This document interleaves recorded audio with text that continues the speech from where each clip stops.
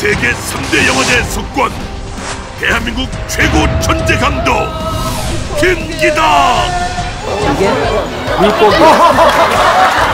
귀여우신 것 같아요, 감독님. 오빠 잘 부탁해요. 한번 제가 돌아봐 드리겠습니다. 다시 한 번 침대를 찍어. 표한테 표한테 대한민국의 여신 원주스타 김혜경 우생순이냐 우생순 왜 작업 안 거세요? 이번엔 아닌 것 같아요.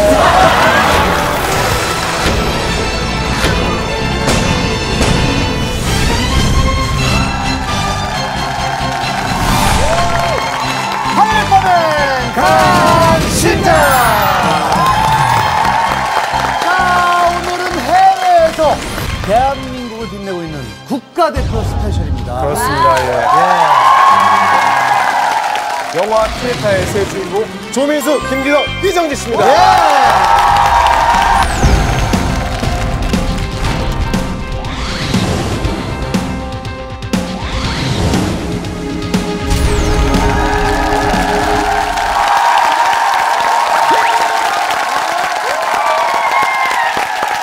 아니 솔직히 이렇게 찾아주셔서 정말 감사하고 또 영광이긴 하지만 도대체 왜 나오셨어요 이게? 아니 강심장에 시청도 안 하실 것 같은데. 예.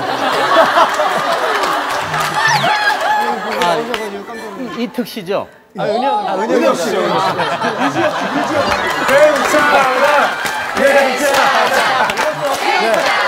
자, 굉장히 제가 그 신기했던 게 뭐냐면 먼저 말씀을 하셨어요. 기자회견 자리에서 저 강심장 출연합니다라고. 그래서 막 PD들이랑 작가들이랑 어, 우리 프로그램 출연한대 어떻게 된 거지? 어떻게 된 거야? 힐링 캠프 나가야지. 왜 네. 강심장 나가냐 어, 이런 분들이 많더라고요. 네. 그래도 저는 이제 강심장이든 힐링이든 뭐든 김기덕이 나가면 김기덕이 아니냐. 그냥 저는 그냥 제 자신을 보여주는 거는 뭐 어느 방송이 중요한 건 아닌 것 같아요. 아, 프로그램이 중요한 게 아니라 그래서 있는 그대로 오늘 옷도 안 갈아입고 그대로 오셨어요. 바로 김기덕 감독님이세요. 뭐제 이미지가 조금 그 어둡긴 해도요. 실제로 보면 저는 굉장히 다정하고 따뜻한 사람입니다. 네. 사실 감독님의 이게 칸, 베니스, 베를린 세계 3대 영화제를 모두 석권하신 감독님이시거든요 세계 최초죠. 영화계. 예, 그래서 영화제에서 몇 번 정도 수상하셨는지 다 기억하세요?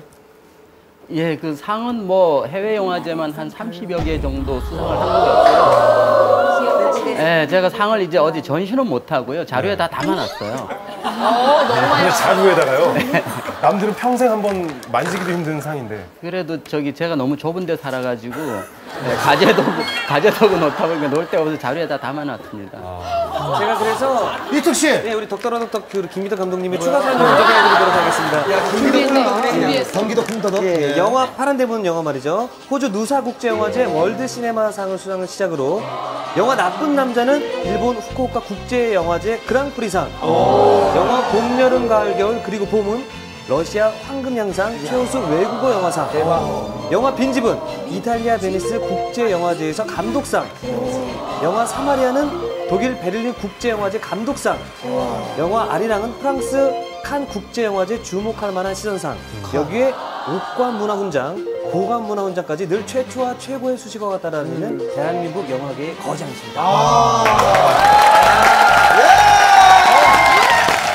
아니 근데 저걸 누가 탔지 속으로? 네. 생각했어요. 본인이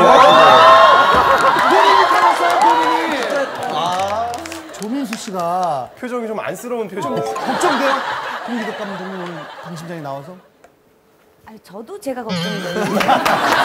저도, 저도. 예능에 정말 오랜만에 너무 나오시는 팬이에요. 저희 그 특씨랑도 대기실에서 얘기했는데 어. 너무 팬이라고 서로 계속 얘기를 했었어요. 근데 제가 강심장을 이렇게 보면 네. 그 얘기는 꼭 하시는 것 같아요. 나오시는 분들만. 로봇이 로봇 인사 로봇. 어, 저는 오늘 오면서도 굉장히 떨렸던 부분이 굉장히 팬이었어요.